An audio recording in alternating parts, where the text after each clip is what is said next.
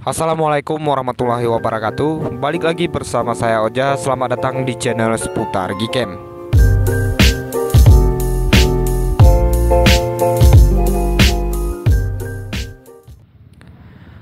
Oke bosku, jadi di video kali ini saya mau review lagi config terbaru untuk Gcam BSG 8.1 Pixel 5 Ya di video sebelumnya kita udah mereview beberapa config untuk Gcam LMC 84 dan di Gcam BSG 8.1 kayaknya terabaikan karena kita nggak pernah lagi review config terbaru untuk Gcam ini. Jadi di video kali ini config yang bakal saya review yaitu config Lumix versi Ribbon. Dan di video sebelumnya saya juga udah pernah share config Lumix. Nanti kalian bisa cek di video sebelumnya hasilnya udah bagus dan di versi Ribbon ini pastinya udah support banyak sekali perangkat MediaTek dan juga Snapdragon. Penasaran seperti apa untuk hasilnya? Simak terus video ini sampai selesai, jangan di skip-skip. Dan sebelum kita lanjutkan ke videonya, bantu support channel ini dengan cara like, comment, dan subscribe. Aktifkan juga lonceng notifikasinya agar nanti kalian semua nggak ketinggalan info terbaru lainnya tentunya dari channel seputar Gcam. Seperti apa untuk hasilnya? Let's go kita ke reviewnya. Enjoy the video. Oke dan jadi sekarang kita udah ada di dalam aplikasi Gcam BSG 8.1 Pixel 5 dengan kode versi GV2B jadi seperti ini untuk tampilan dari config Lumix versi Ribbon dan di config ini keunggulannya dia di mode kamera sendiri. Misalkan kita shoot di malam hari untuk mode kameranya nanti hasilnya dia akan terang ya teman-teman dan sekarang kita langsung aja review menggunakan mode kamera terlebih dahulu. Dan buat kalian yang masih bingung gimana cara masang config di Gcam BSG 8.1 Pixel 5 Nanti untuk link tutorialnya ada di deskripsi video ini dan juga di pin komentar. Oke langsung aja di sini kita akan uji coba menggunakan mode kamera. Dengan rincian di sini HDR-nya kita gunakan HDR yang disempurnakan. Dan di sini untuk frame-nya kita pakai aja frame yang default atau frame yang auto ya teman-teman. Oke, kemudian di sini untuk AWB-nya kita matikan aja. Kemudian di sini untuk rasio gambar kita pakai yang 16 banding 9 langsung aja di sini kita uji coba menggunakan mode kamera auto night mode-nya di sini coba kita matikan langsung aja di sini kita share. Oke, di sini untuk proses HDR-nya lumayan cepat, membutuhkan waktu sekitar 3 detik dan ini tergolong sangat cepat. Dan sekarang kita cek untuk hasilnya. Oke teman-teman jadi kurang lebih seperti ini untuk hasil mode kamera biasanya tanpa auto night mode tanpa astrofotografi juga. Dan ini real hasil dari confignya. Kalian bisa lihat di sini untuk hasilnya bagus dan lumayan terang juga di sini. Kemudian di sini untuk komposisi warnanya kita lihat tersaturasi di beberapa objek ya teman-teman. Cocok juga nanti ini kalian gunakan untuk siang hari. Kemudian di sini agak kurang detail karena tadi nggak kita fokuskan ke objeknya. Kemudian di bagian langitnya juga ini masih kelihatan malam hari nggak kayak siang hari dan ini hasilnya lumayan jernih. Oke sekarang kita lanjut menggunakan mode kamera tapi di sini untuk rincian auto night mode nya di sini coba kita aktifkan masih di objek yang sama. Kita coba fokuskan lagi ke objeknya seperti ini. Dan di sini udah ada keterangan untuk fokusnya ya teman-teman. Misalkan kita tapkan seperti ini maka dia nanti di sini ada keterangan fokus laket artinya fokus sudah terkunci. Oke kita langsung coba shoot aja. Kita lihat nanti untuk hasilnya seperti apa. Oke ini nanti tiga foto kita shoot di objek yang sama ya teman-teman. Kita lihat nanti untuk hasilnya apakah akan sama atau berbeda. Oke dan ini untuk hasilnya udah kelihatan. Sekarang kita cek untuk hasil yang barusan Oke teman-teman, jadi kurang lebih seperti ini untuk hasil dari mode kameranya. Dengan rincian di sini auto night mode-nya kita aktifkan atau auto mode malamnya aktif. Dan di sini tadi untuk rincian AWB kita off-kan. Di sini misalkan auto night mode kita aktifkan, keunggulannya di sini dia agak lebih terang dibandingkan dengan mode kamera biasa tanpa auto night mode tadi ya, teman-teman. Kemudian di sini di beberapa objek untuk detailnya masih cukup bagus, masih kelihatan detail. Dan di sini untuk hasilnya juga minim noise. Kalian bisa lihat di beberapa objek di bagian langitnya. Oke, coba kita zoom. Detailnya masih kelihatan bagus. Untuk tone warnanya di sini juga bagus ya, teman-teman. Tersaturasi tapi nggak mengalami over. Dan ini tadi hasil mode malam biasa tanpa auto night mode. Oke, next kita lanjut lagi di sini kita coba beralih ke mode malam. di sini tapi kita coba aktifkan mode astrofotografinya. Kita coba geser sedikit ke atas seperti ini. Kita geser sedikit ke objeknya, kita tapkan lagi seperti ini. Kita perhatikan lagi di sini untuk AWB-nya di sini coba kita aktifkan di mode astrofotografi ini. Astronya aktif, rasio gambar kita pakai yang 16 banding 9 supaya nanti dia untuk dynamic strength-nya luas. Oke, langsung aja kita shoot.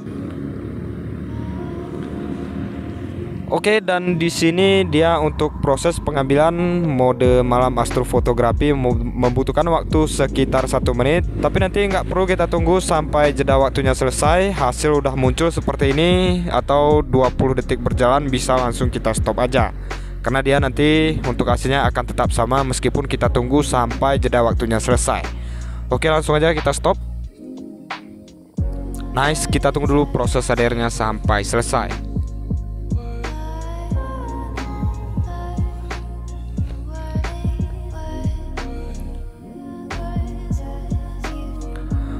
Oke nice, jadi kurang lebihnya seperti ini teman-teman untuk hasil mode astrofotografinya dari Gcam BSG 8.1 pixel 5 menggunakan config Lumix versi Ribbon by Sputar Gcam. Kalian bisa lihat di sini di mode astrofotografi ini untuk perubahannya di bagian objeknya lebih detail lagi dibandingkan dengan mode kamera auto night mode tadi ya teman-teman. Nanti juga kita ambil beberapa sampel untuk mode malam biasanya. Kita lihat di sini benar-benar jernih banget nggak ada noise sama sekali. Dan di bagian langit ini kalian bisa lihat sendiri teman-teman. Untuk hasil malamnya masih kelihatan malam hari nggak kayak siang hari. Dan untuk tone warnanya pun di sini nggak mengalami over saturation ya. Oke kita coba geser lagi ke objek yang lain Oke ini kita udah geser posisi. Sekarang kita coba gunakan di sini untuk mode malam biasa tanpa astrofotografi. AWB di sini coba kita aktifkan. Kita tapkan ke objeknya seperti ini. Dan udah fokus langsung aja kita shoot.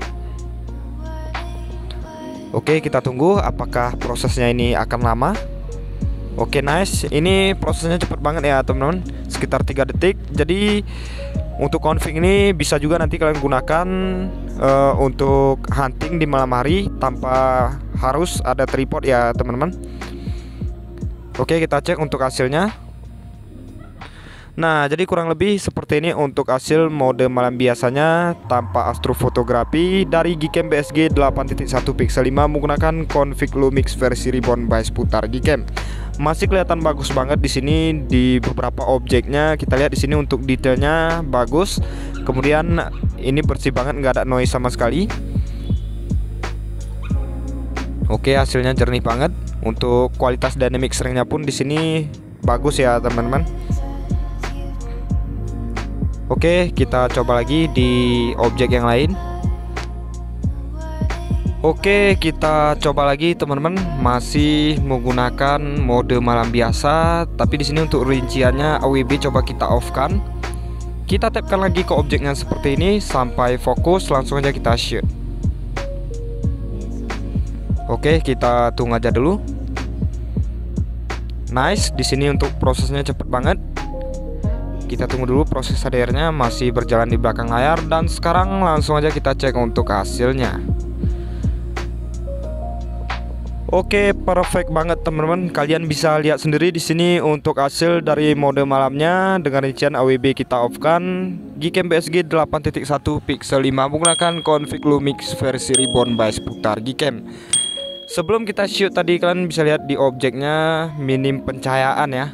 Dan setelah kita shoot hanya menggunakan mode malam biasa hasilnya bagus banget dan ini kita lihat di beberapa objeknya. Di sini memang agak kuning karena pantulan cahaya dari lampu ya teman-teman. Makanya di beberapa objeknya ini hasilnya kuning. Kita lihat di sini untuk warna langit cukup bagus birunya keluar. Kemudian di objeknya pun ini masih cukup detail banget Oke, kita coba di sini menggunakan mode astrofotografi rincian AWB kita on kan, astro kita aktifkan, masih menggunakan rasio gambar yang 16 banding 9. Kita geser sedikit ke atas. Oke, kita paskan lagi ke objeknya seperti ini. Dan udah fokus, langsung aja kita shoot.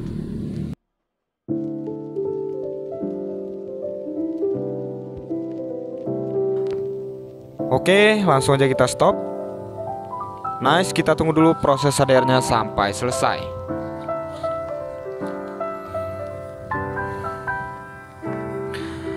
Oke, kurang lebihnya seperti ini untuk hasil astrofotografinya. Misalkan AWB-nya di sini kita on kan ya, teman-teman. Di, di AWB on sendiri di sini untuk saturasi warnanya di sini agak over ya, teman-teman. Kalian bisa lihat di beberapa objeknya ini untuk kuningnya di sini agak kuning sedikit.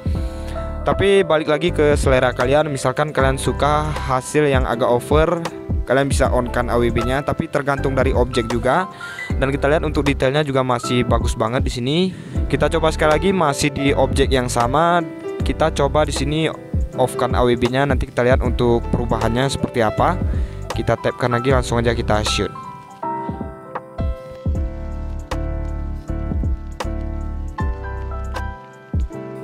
Oke, coba kita stop.